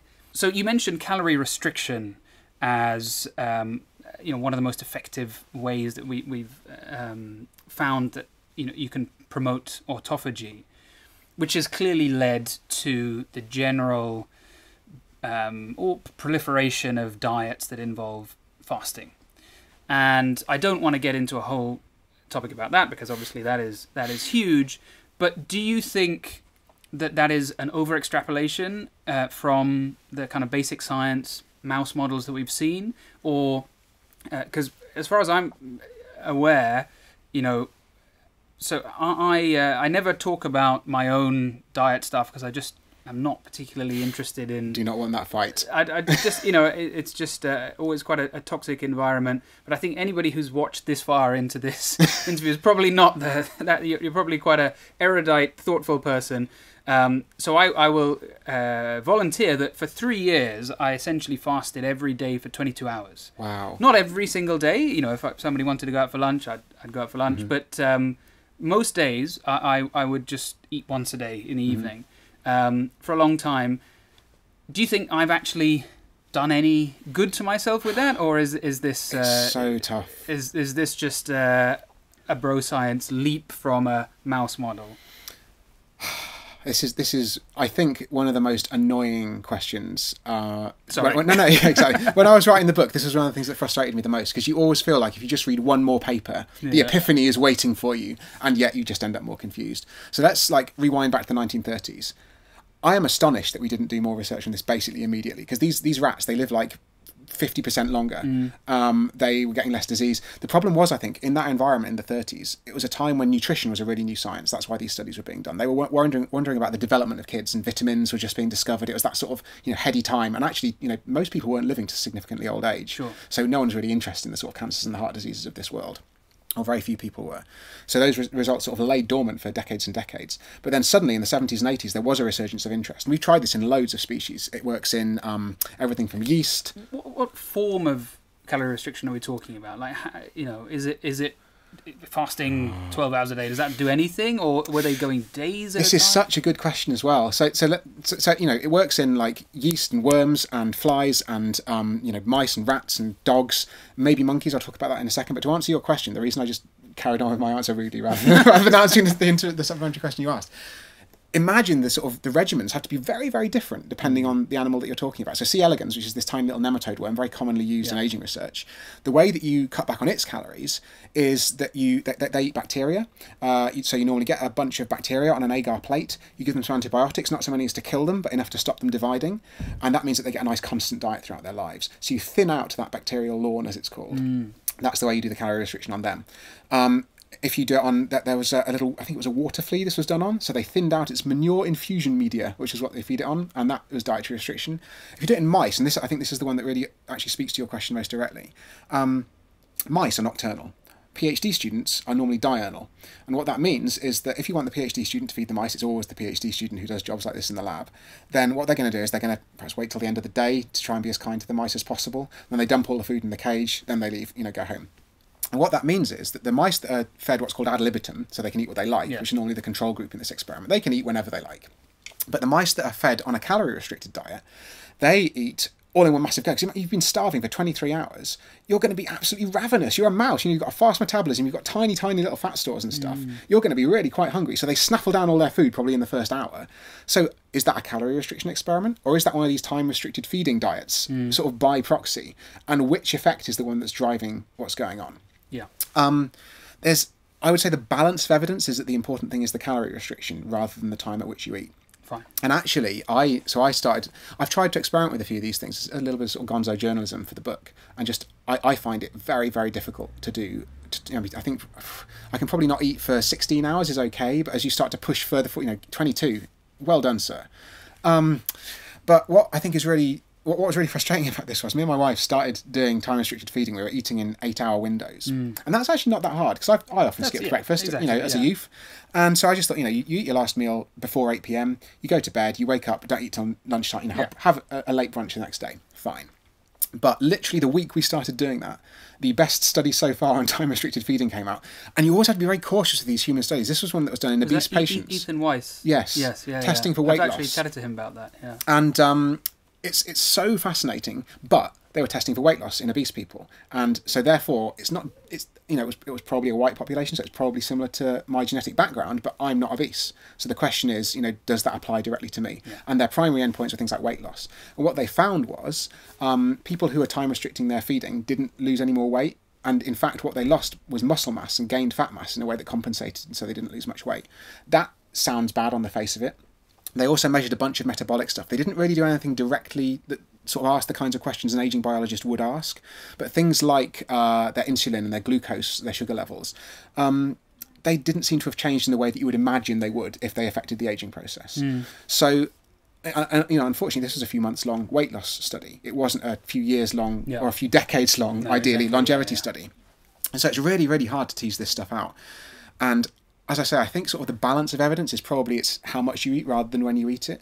But I wouldn't be shocked if there was at least some effect. And the real the real challenge of all of this is it's hard to stick to these diets. The kinds of people who can might be genetically or otherwise, you know, different to people who, like me, just get starving and very angry. and so maybe you know maybe there's a systematic difference there. It's hard to tease out. Um, the study that was done in monkeys, I said I'd come back to, and I, I think this has this has a, conclusion that's overly reassuring again for cynical scientists, which is that there were two very very long term studies in rhesus monkeys, which are probably the closest analog to humans we can come up with in you know in experimental science. Starting in the late 1980s, and there was one at the University of Wisconsin, one at the National Institutes of Aging, both in the US, and they were both um, set up in quite different ways. So at the National Institutes of Aging, the monkeys were fed this natural diet. It was full of all different kinds of fish and vegetables and grains and stuff. And um, there were some that were allowed to eat what they liked and some that were given a, a more restricted version of that. At the um, at the University of Wisconsin, they went for what sounds like a more sciencey approach, which is that they thought you know fish and grains and natural stuff. It's very hard to be precisely sure what's inside those particular products, and particularly over like a thirty or forty year period while you're doing this experiment. So they thought, let's make these nu- nut- nutrified pellets, and they made them out of you know fats and sugars and protein and blah blah blah. But actually, if you look at the composition of those pellets, they are effectively the sort of monkey equivalent of hamburger fries. You know, very sugary soft drinks. They're, they're not what you'd define as a healthy diet necessarily. And so there were monkeys that were allowed to eat as much of that as they wanted, and monkeys that were then on this restricted version where they were only given a limited number of those uh, delicious fatty sugary pellets. And what they found was over the, these two studies, which are now broadly concluded, I think there might still be a couple of monkeys living, but you know, they, they, they, mo- most of them have died by now. Most of the science has sort of come out of this. In reverse order of healthy lifespan, the ones who lived the shortest healthy lifespan were the ones that were eating as much burgers and fries and sugary fatty pellets as they liked, and that makes perfect Makes sense. sense, yep. The ones that were sort of somewhere in the middle were these ones that were having either a calorie restricted version of the burgers and fries, so they weren't allowed to eat as much as they wanted, or the ones that were eating the um, the ones that are eating the fishy, uh, you know, grainy, vegetably natural diet, but as much as they liked. And then there was a small but not particularly significant improvement on the ones that had this calorie restricted version of the sugary, uh, sorry, of the of the vegetably, fishy, grainy, delicious diet. So, I think what that says, if you're going to be a cynic about this, and you, or and or want to change your diet as little as possible, it suggests that not eating as many burgers and fries as you like is a good thing, which I think we knew before this study was conducted. Yeah. Um, but if you're already eating a basically healthy diet, there's not a huge amount to be gained by further restricting what you eat. Um, so, so basically, you know, that's really a repetition of existing health advice. I mean, that's in a nutshell why I don't tend to spend too much time making videos about diet stuff, and why I, I feel like when I talk to patients, actually, it's a lot simpler in real life than I think a lot of people make out. Is I think you, you know exactly that. There, there there are some very simple messages to take home, So that's that's that's uh, really interesting. I didn't know about that um, that study. So you heard it here first. Uh, fish and vegetable pellets is uh, how you uh, live. There's no fish and vegetable pellets. They were given actual oh, fish and vegetables. Actual fish and ve- well, okay, that is just that's, normal that's, advice. Exactly. That That is is, that's, totally re- that's really boring. advice. What's strange is though, obviously, d- reading these studies, I was just starving the whole time. I was like, "Give me the fatty, sugary pellets right now." Really? I am literally Yeah, yeah. sla- slavering. It's Were crazy. they in, in the shape of a little burger? yeah.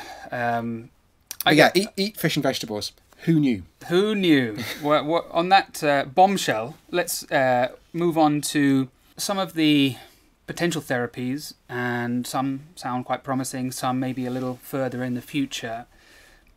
And here, here, here comes my inner cynic. Um, a lot of the, you know, we there are other ones we haven't mentioned today, but there are, you know, substances and, and compounds and chemicals that we found, like aspirin or turmeric, which seem to have some sort of in um, vitro effect. And they're all promising and all, all sort of worth investigating. Fine, I agree with all of that. But this reminds me a lot of uh, the research that I did for my uh, PhD research, which was um, in the field of something called ischemic preconditioning. I won't go into all the, the science of it now, but essentially, we were looking for, and not just us, many teams around the world, were looking at different agents to protect the heart uh, if in the event of a heart attack. And we kind of had a running joke that pretty much anything was found to become cardioprotective. Like any any drug we'd test, you know, you just pull out anything from the shelf, new drug, old drug, it didn't matter. They everything, not quite everything, but so many substances seem to have a cardioprotective effect. And yet, in practice, and this is you know my research, which was a bit of a shame that it's uh, you know it came back neutral, um, is because every intervention that we found in in reality didn't seem to have that effect, and that's not you know exclusive to this field. It's in in many areas of medicine, and I think that's why a lot of um, clinical doctors who who are sort of less involved in the day to day research. Um, often get a little bit uh, have t- tend to receive some of this stuff with, with a little bit of cynicism because there's a huge gulf between basic science translated into into clinical science. So um, it, it, it's kind. I, I'm not necessarily asking for for, for a, a view on that, but it just it makes me think of that kind of um, thing. Another example, which perhaps is a bit more relevant, is the removal of amyloid plaques, and and and we've often been fooled with mechanistic arguments, and I think again this leads to a lot of the bro science kind of conclusions that we we draw up a mechanism like say the the Tor pathway mTOR, and um, it seems really logical. Like okay, if we just intervene at this point, we can interrupt this process. And for the amyloid plaques that I mentioned is was was specifically thought to be the the causative agent in Alzheimer's and there have been attempts to, to try and address these, which, as far as I'm aware, and I, I, you know, I'm not a specialist in the field at all, but they they, they haven't really delivered what we hoped. And um, you know, whether that's just our mistake that there's a reverse causality here, and, and actually it's not the causative agent, but it's the Alzheimer's leading to that, that perhaps that's our mistake, or perhaps we are just looking at it way too simplistically, and you know taking it out is, not actually making the difference. So, how I, I, I think maybe sometimes I think you're perhaps more of an optimist than me, and and, um, do you worry that that could be the, the same story with some of these things? I mean, I think it will be the same story. I think that's just the sort of the, the attrition rates during the various phases of drug development is enormous, and that's mm. because, as you say, you know, you go from mechanism to reality. Often, you know, if you're trying it on card- cardiac cells in a dish, you're not trying it on all the other cells in the body, and so of course there might be some side effect that overpowers whatever effect you're Yeah. originally seeing. I think the reason that I am somewhat optimistic about all this aging biology stuff is that there are mechanisms. Mechanisms do fail, but we've got lots of different ideas to target these mechanisms. And I think something something that I'm a bit skeptical of is these things where they just drip every you know every compound in tea that they might possibly find on some cells in addition, see what happens. I think if you're specifically targeting some of these hallmarks of aging, they're not a perfect list. I'm sure they're not a complete list. I think we're going to find an eleventh and a twelfth and a thirteenth item when I you know write ageless two. This time it's immortality. Yeah. Um, but you know, we're, we're certainly at a point where we've got enough of an idea and we've got enough ideas for each of the, you know, in the book I sort of break it down. We have multiple ideas per hallmark. I wouldn't be surprised if most of them fail, but I'd be very surprised if none of them work. Right. So there's that sort of that, that flip side of it as well. Um, and I think the amyloid is actually a really interesting example in that. Um, so the reason the amyloid hypothesis originally started was because, well, back in 1906, when Alois Alzheimer, the German guy who discovered um, German guy who discovered amyloid plaque or discovered Alzheimer's disease, of course, he cut open the brains of patients and discovered this this horrible gloopy stuff. Turned out to be amyloid plaque. Um, I actually read a really fascinating thing on his Wikipedia page. So when he made this discovery, he went to the University of Tübingen, which is one of the you know most esteemed medical schools in Germany, uh, to to talk about his results. But the audience were incredibly uninterested. Um, none of them asked him any questions, and you know it basically went completely unnoticed. And that's because they were actually there to see the next speaker, who was going to be talking about erectile dysfunction. So they had all turned up for that talk, Classic. and uh, just you know basically slept through the Alzheimer's one, which actually you know which turned out to be the more clinically significant discovery. Wow. Well, um, anyway, so this this you know this was discovered right back at the very outset of our understanding of Alzheimer's disease, and obviously as we got better at you know microscopy and you know um, molecular biology, we worked out what this weird gloopy stuff was. It was this stuck together protein called amyloid, um, and then the sort of real the birth of the amyloid hypothesis was in the late 80s and early 90s, and they found people who had what's called early onset Alzheimer's. So, normally, um, if you have, I shouldn't really use the phrase normal genes, but if you have the most common uh, amyloid genes, you will basically not get dementia before you're 60. It's almost impossible. And yet, after the age of 60, there's this steep increase. It's actually a, a doubling time of your risk about every four and a half years. So, it's faster even than the aging process itself. So, it's very, very rapid onset, but it's very late onset, crucially. Um, but if you've got early onset Alzheimer's, some people with really unfortunate mutations can get dementia starting in their 20s. More commonly, it's in the 40s, 50s, 60s Yeah. sort of time. And most of the mutations that are of relevance here are related to this amyloid gene. And so certain, these things cause the amyloid to build up much, much more uh, earlier in these people's brains. And that seems to be what's caused a lot of the dementia in their case, because that is the one thing that's, you know, quote unquote wrong with them. Um, and so, therefore, it seems that amyloid is sufficient to cause dementia. The question is, is it necessary and is it the causal agent in um, people who are de- developing dementia as a sort of side effect of, of normal, again, quote unquote, normal aging? And that is, you know, something that has been tested repeatedly and we've got very good drugs that are very good at clearing amyloid now, but they appear to have very little in terms of clinical significance. There was actually a trial this week of imab, which is another antibody that, that cl- clips onto amyloid. Um, it did have a clinically significant improvement in the cognition of the patients. However, sorry, I said clinically significant, didn't I? I should have said statistically significant. Right. So it's a, it was, I think it was a 0.45 score reduction on this dementia score. And the article I read, the other the, the expert who wasn't involved in the study, so it didn't sound sound like like very much. Yeah. Um, the fact that it's it's giving a, an a clinically observable outcome is, is a huge deal. 0.45, I mean, what's the scale? I can't remember If it's out of 100, it Exactly. doesn't, doesn't feel like it's that big. Yeah, I can't remember what the scale was called, unfortunately, but like it's so it's it, it's been very very slow progress to even get to that fairly small increase. One of the theories as to why that is is that perhaps these, particularly the antibody interventions, which are the most effective at clearing the plaque, if not mm. creating the clinical benefit, is that the way these work is they latch in antibodies to this immune part of your immune system onto the amyloid, and that antibody acts as sort of like a red flag to your immune system, says, "Come and clear me up." And the problem is that means the immune system comes barging into the brain and smashing up brain cells left, right, and centre. So maybe you're actually countering the benefit of removing the amyloid with the disbenefit of creating this huge amount of inflammation in the brain. Is um, disbenefit a word? I, I- it is now. Okay. I certainly don't. Do I have dementia? there's there's this real sort of tension about what might actually be what might be the actual cause of dementia. Maybe there are some ideas that are coming through to non-inflammatorily. That definitely isn't a word. remove remove the plaques from the brains of people with dementia. They might be more effective. I actually think dementia is going to turn out to be massively multifactorial, and perhaps the most effective way to do it. I you know I don't wish to beat on my same drum continuously, but is to target the aging process, which gives rise to the multiplicity of things hmm. that ultimately go on to cause dementia.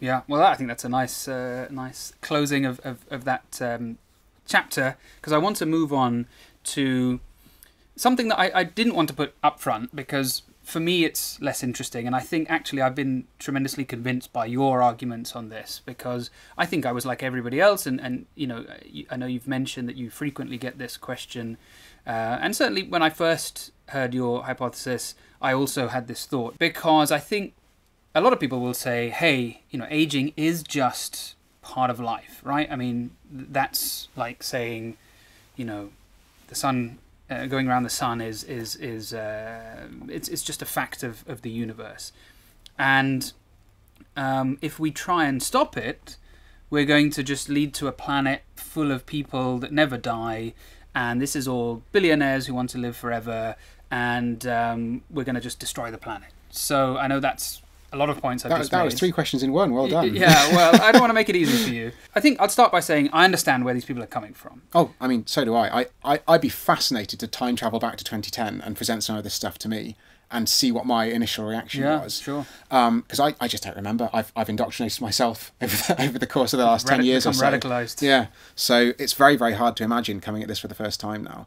But given how common this these kinds of questions are, you know, I, I can totally see where people are coming from. It's, Yeah. it's a, I so at the end of my PhD, I was having a bit of a how can I most benefit the world crisis, and one of the things I very nearly did was go into climate physics. It's a really obvious place to go as a physicist. Use all those numerical skills, model the climate, solve climate change. Um, that'd be good, wouldn't it?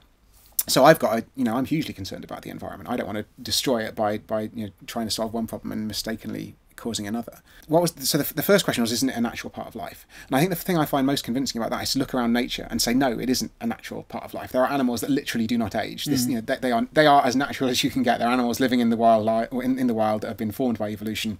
Aging is not necessarily a natural thing, and you can imagine if you know we were extremely intelligent tortoises and we were looking out in the rest of the animal kingdom and seeing these other animals whose risk of death did rise with time, we'd probably pity them and consider our state to be the natural one. So it's just a sort of freak accident of evolution It's an interesting thought experiment. that we happen to have been, you know, blessed with these um, these cursed mammalian bodies that are, are doomed to age in the way that they do. Um, so that's the sort of answer. That, you know, is, is it a natural process? The other thing I think this is really pertinent when we, you know. An- Anti-aging medicine, although anti-aging has this sort of checkered history, it's about cosmetics and skin cream, and you know it's about quacks peddling snake oil in the 1920s and that sort of thing.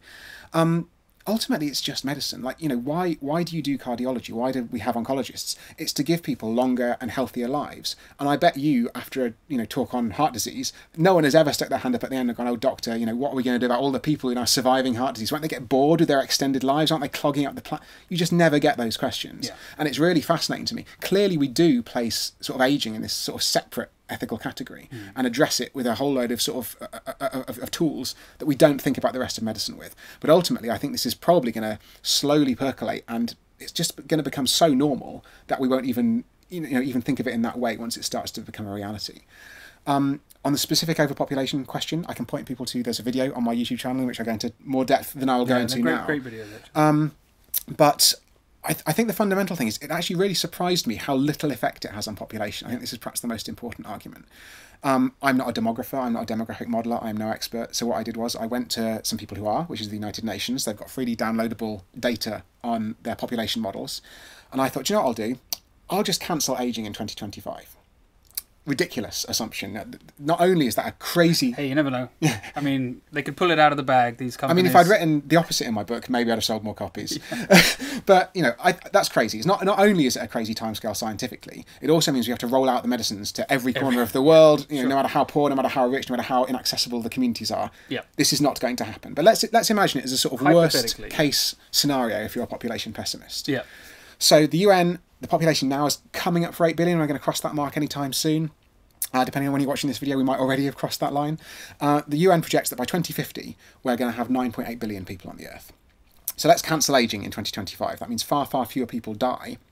The population in 2050 then would be about 11.3 billion. That's, well, is, that a lot or a little? On the one hand, it's almost 2 billion extra people. That's, that's quite a lot of people. On the other hand, it's only 16%. And when we think about, uh, people often call this overpopulation. I hate that word for a number of reasons, but the, the, one of the reasons is it's I don't care. I mean, I do care about people. That's kind of the point of this whole conversation. but I, I don't mind how many people there are. Yeah. In fact, there are some arguments more people are better because there's more happiness in the world. There's more, you know, musicians and scientists and thinkers to, you know, make the world a wonderful place.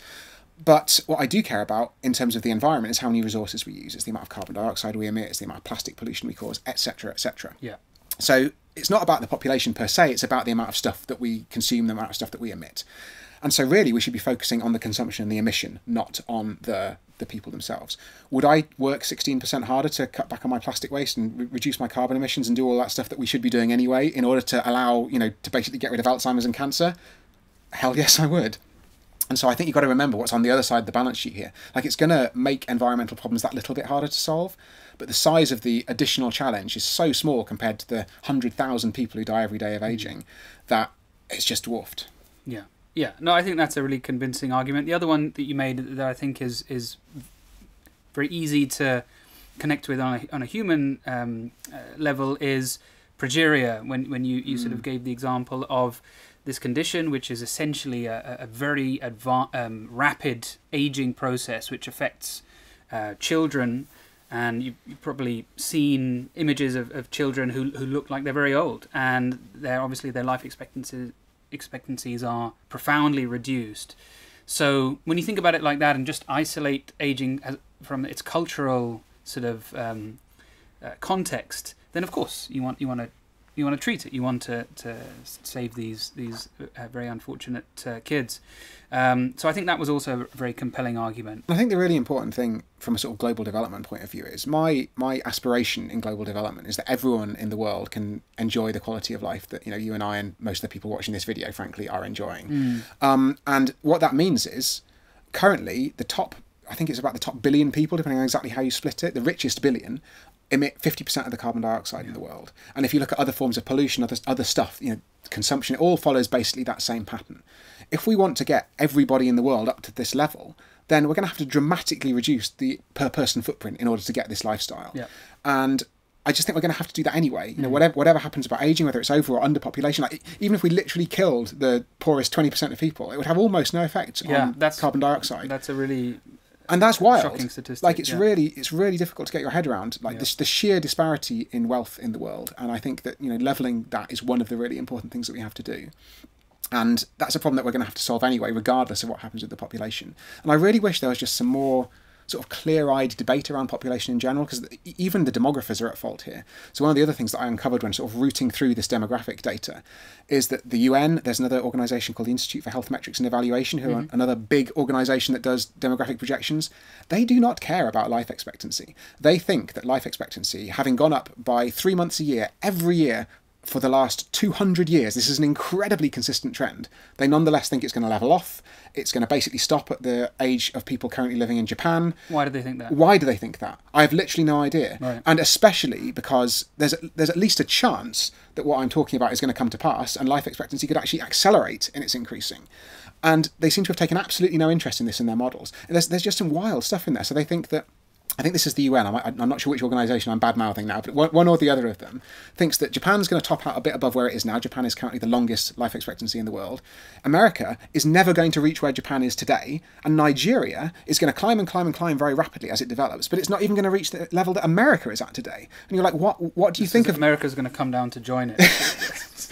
and you're like, what? What do you think about Nigerians? That means they're not able to, you know, in 2100 enjoy the same life expectancy and, as Americans and you think they're just, now. They're just putting the same function on, I think so, each, yeah. with a different starting point mm-hmm. and, and, and not actually taking any biology into the equation. Well, exactly, or just any base like even even even if we literally freeze medical progress today, Nigeria is going to be much much richer by the end of this century. At least I very much hope so. And therefore, what that means is they're going to have access to a lot of the modern medicine that we now have. So why would they not be able to achieve the levels that rich countries are all? It's not like we have to break, make a biological breakthrough for life expectancy in Nigeria to be 85. Yeah, like that's a thing that countries around the world are already doing. Yeah. So the whole the whole field just completely baffles me at the moment, and I really hope there's some more serious, you know, underpopulation or overpopulation it's just these are serious, massive questions about the, the future of the world, and we need better evidence. We need a better quality of debate. We need to realise that there are all kinds of policies we may or may not need to implement. And this isn't just biology. This is like reproductive rights. There are so many angles on this yeah. that we can't even really scratch the surface. Just you know, two dudes in a garage. yes, don't give away the secret that it's a garage. Um, it's a multi-million dollar set. Uh, I, I, I, I won't pose this as a question. I'll just mention because I, I watched. This, uh, this isn't a question; it's a statement. This this is a statement. a yeah, comment. I mean, I'm I'm feeling already overwhelmed by how much we're talking about economics. I I try and keep it off the channel if I can, um, but uh, I I saw a, I think a Wired. They did a little series on aging um, on YouTube, and one of the videos was about. Um, people saying that you know yes that's great but there are much bigger challenges in the world and the things we can do to improve life expectancy are societal, structural, um, you know, um, all, all the things we know about it, about improving poverty. Um, and of course, that uh, neither of us would, would suggest that that isn't the case at all.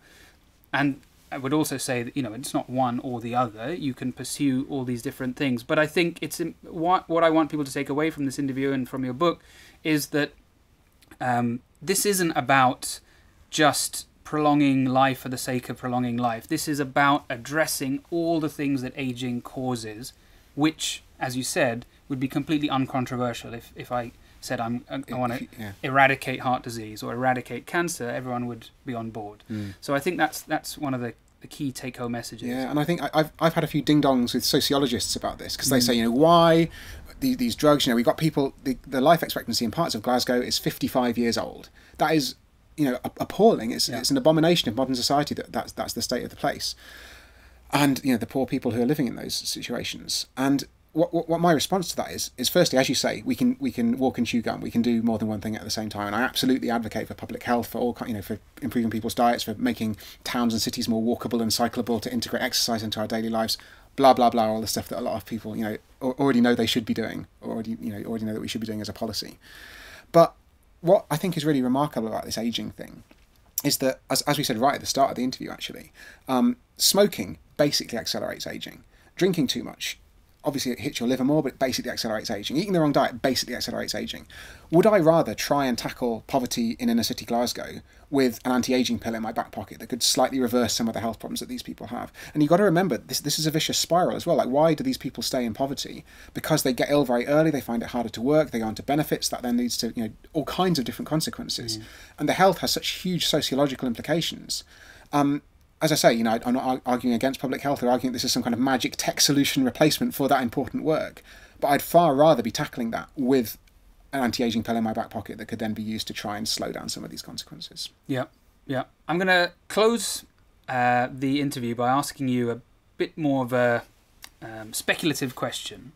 Um, I'll just give my my thoughts. I, I think you know uh, uh, we've we've joked about um, my general level of, of pessimism about the dystopia that we are heading into. But um, I, I read something qu- uh, a little while ago in the British Medical Journal. So this is you know obviously medical people responding about the top ten medical interventions that have you know furthered humanity to, to the greatest extent. And of course, there were some obvious ones: vaccines, penicillin.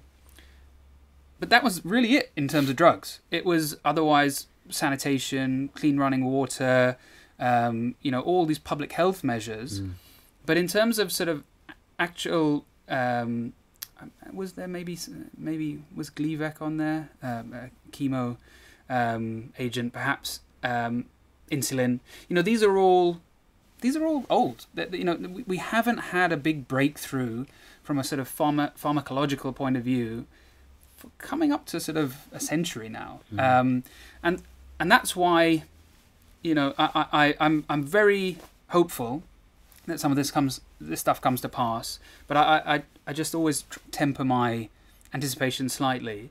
So my question to you to, to sort of finish off the interview is where do you see the the state I, I, I won't ask you sort of medicine in general that's a bit unfair but the, state of, of anti-aging I I understand that's a phrase that's not used in anti-aging. uh, in- Uh, in- some people are very some people are very anti anti-aging. Yeah, so- I, the reason I use it and use it fairly liberally is because I think it's very self-explanatory. Yeah, Whereas if you sense. talk about like geroprotective drugs, Right.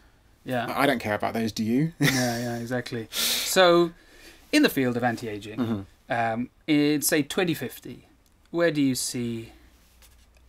Where do you where do you think we'll have got to? It's a good question, and I think um, to add a note of optimism to your like looking back across the history of medicine, I think there's there are some reasons, albeit quite theoretical, to hope that anti-aging might be easier than some of the Okay. attempts to treat cancer and heart disease. The reason being, when you're trying to treat cancer, most cancer patients are in their 70s or, or, you know, in their 80s or something like that. That means the cancer is occurring in a body that is failing in a whole variety of other ways. The side effects of chemotherapy are going to be that much worse just because their heart's already failing a bit. They've already got a bit of cognitive decline. I, I will say that's correct, but the cancer patients in trials are often significantly younger, which is why these very expensive chemo drugs are often um, licensed and then don't deliver the uh, the same results. And that's a whole other conversation. Just in the same way as women have been excluded from clinical trials historically, so too have old people who are often the recipients of most drugs. Yeah. So we really need, and this also old mice are rarely used because it takes a lot, it takes two years to get a two-year-old mouse. Mm. So quite often you'll get a mouse and you'll give it a gene that makes the disease of interest happen in an otherwise young, healthy mouse. Yeah. And so that's a whole another conversation. But yes, certainly we need to do many more trials in the actual patient population who are going to get the drug.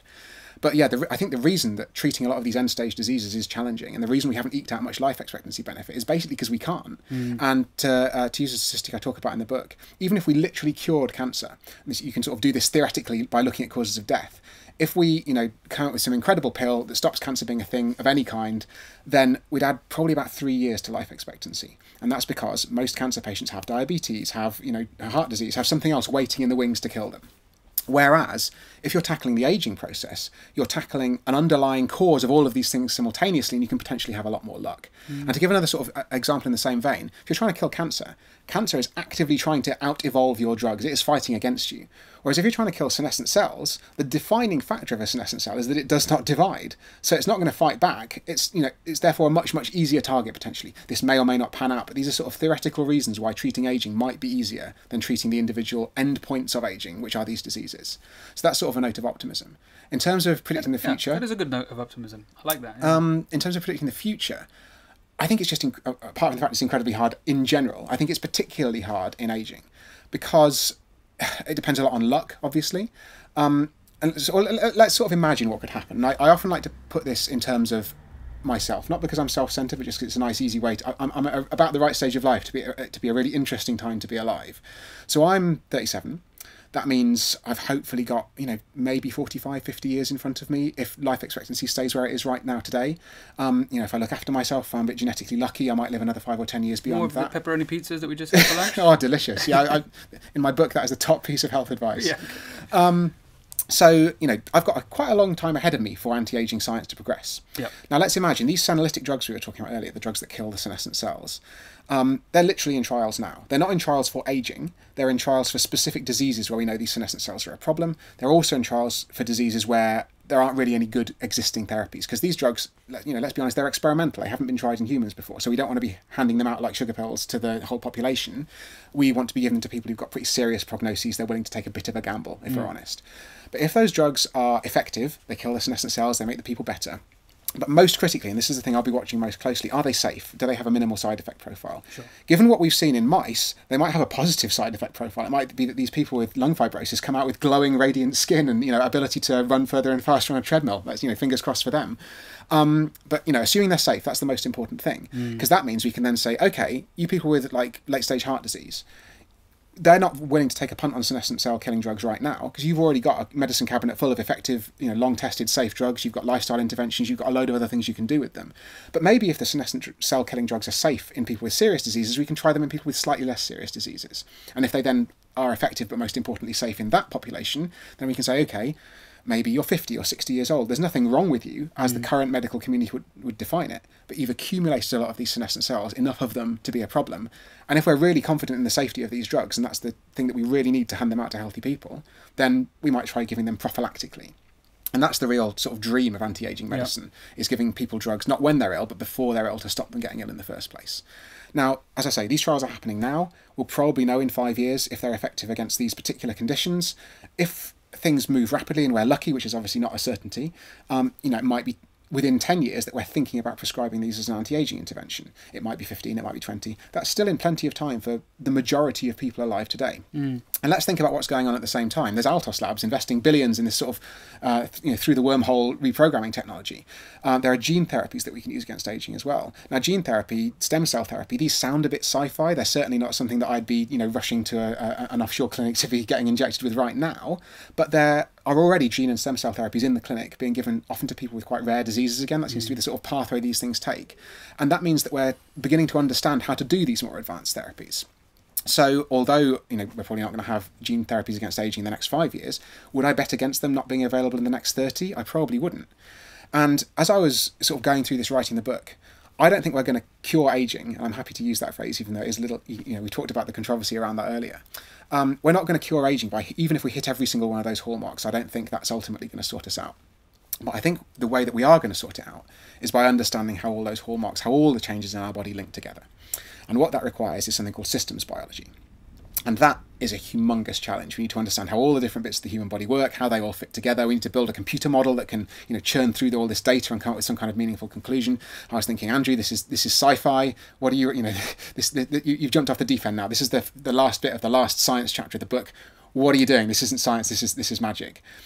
But actually, you know, if you look back at the last 50 years of progress in computing, um, I looked this up for a talk recently, and in 1972, the world's first 8 inch floppy disk was commercialised. I mean, some viewers probably won't even know what a floppy disk is at all, let alone imagine what uh, a, naught inches, yeah, quite, quite frankly. So they'll have no idea what I'm talking about. Trust me, it's a very old piece of computing technology.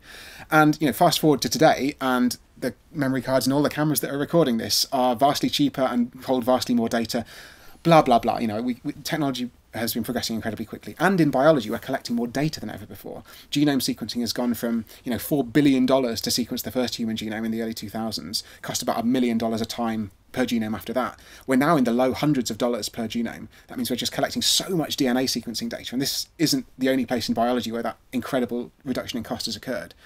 So again, in 50 years' time, will we have enough data to build a systems biology model? I don't want to be one of those Silicon Valley tech bros who's saying if we just collect the data, it'll I, just I think happen. the fact you're saying 50 years already sets you apart from the Silicon Valley tech bros. I, I, think, think, I think that's yeah. a, a, a, much more pragmatic, realistic kind of time frame. And what makes me really interested about that is I, I do have that same sort of pragmatism and you know I don't I certainly don't want to say anything like you know 10 or 20 years for for a systems biology model of a human like you know, let's get mm. this in perspective here but I very much hope to still be alive in 50 years' time, especially if I can benefit from the first generation of senolytics. Perhaps I'll be taking metformin or rapamycin if they turn out to be successful, or you know, maybe turmeric will turn out to be the, the miracle drug we've all been waiting for. Whatever it is. I don't know, Indians eat a lot of that. Not doing so well. but whatever it might be, you know, I, I can hope potentially to live more than 50 years if i you know again if i exercise if i eat well if i get the first generation of these anti-aging drugs maybe i will survive long enough to see those systems biology models so live long enough to live even longer. Yeah, that's the phrase. that's the one. Yeah. So the, the the phrase used by it was originally coined actually by um, by Ray Kurzweil, who you might know from the Singularity is Near, who predicted well we're all going to be you know uploaded into AI computer bots in the year twenty twenty nine or something. I can't remember exactly what his timeline still was. Time. There's, still time. There is still time.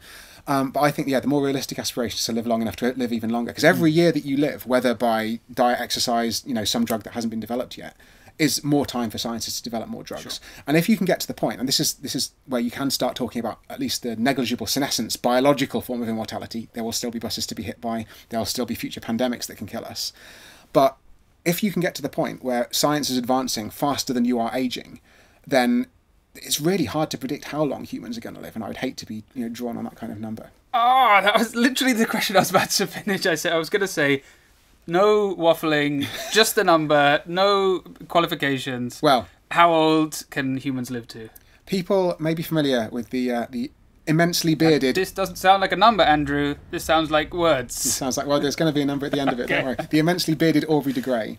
Yeah. And he got in a lot of hot water in the early 2000s for predicting that humans could live to a thousand. Let oh, me tell wow. you the basis on which he made that calculation. It was well, it's essentially a number that I've already given. It's that our chance of death as young adults is somewhere in the ballpark of one in a thousand per year.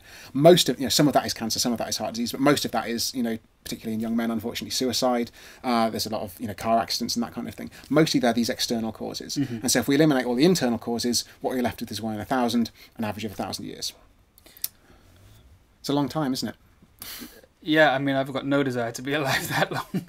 I'm uh, ready to uh, shuffle off this mortal coil. But, uh, um, I mean, you're saying that biological causes of death could be eliminated. I don't think. I mean, there's there's no reason. Look at a tortoise. It, it is negligibly the Queen's de- death certificate. Have you, did you see what no, they, I haven't they recorded seen it. No. Uh, as cause of death? Old age. Oh no! They I didn't realise that was still have, allowed. Yeah, it's still allowed. I, occasionally, we, we I don't. When you just can't identify I don't anything. certificates anymore. I'll get somebody else to do that. But um, uh, yeah, we can still put old age. Oh no, and I, I think this is one of the great sort of misperceptions. I understand why that is a convenient shorthand because at the end of the day, you don't want in, to. I think in the case of the Queen, it probably was the least controversial to go for. That's they, true as well. Yeah, you don't want to like chalk her death up to anything, you know, to, particularly you know, member of the royal household. That would be very awkward, wouldn't it? Yeah. I'm just saying. Yeah, well, quite. um, but yeah, so you know we're not we don't need to do a full like we don't need to dissect every 90 year old who who dies. But at the same time i think um, we don't do enough investigation of causes of death in older people. We don't I- I- really know Yeah, I know what you mean. what kills a lot of 80 or 90 year olds and there's a really sorry we're, we, we're doing very badly wrapping this up aren't we? There's this really fascinating series of studies done uh, dissecting 80 90 there were some even done in what are called super centenarians. So these are people who make it to the age of over 110 Yeah. and wow. in that age group, they found that perhaps the leading cause of death is something called transthyretin amyloid, which is this kind of amyloid that builds up, uh, often strangles the heart basically, and causes heart failure. Which isn't really a cause of death in you know n- normal old people, so to speak, you know people who die in their eighties or nineties. And I think not looking at what causes death in older people is really leading to quite significant blind spots in terms of the aging biology because we need to be looking a little bit further ahead in the sense that, you know, wouldn't it be tragic if we cure all the causes of aging and death up to 95, but then we all get killed by transthyretin amyloid aged 96 to 100? Thank you very much, Andrew. It's been, uh, you know, a very absorbing, long conversation because it's been uh, fascinating stuff. So Yeah, thanks uh, for sticking around, anyone who's still here. yeah, yeah. Well, uh, I, uh, likewise, appreciate that. And uh, where can people catch you? Well, you can check out my YouTube channel. I'm uh, youtube.com slash Dr. Andrew Steele. You'll, you'll put a link in the description. I'll do all that. oh, thanks, thanks. Um, you can also check out my book, which is Ageless, which you can find at ageless.link. Um, you can find me on Twitter. I'm at Statto. I'm on Instagram as at Andrew J. Steele. I'd, I'd like to keep all the handles different just to keep everyone on their toes. just, yeah, just keep guessing. um, yeah, I think that's, that sounds good. I'd love to see you there. Great. Thanks a lot. Bye, everyone. Thanks very much. Bye. Excellent. Oh, um, That was really good. yeah, no, it's, it's uh, there's so much to, to talk about. You know. That was some well winged interviewing. Yeah, I mean, it, it helps that you know, I do actually find it quite interesting. So, Yeah. um,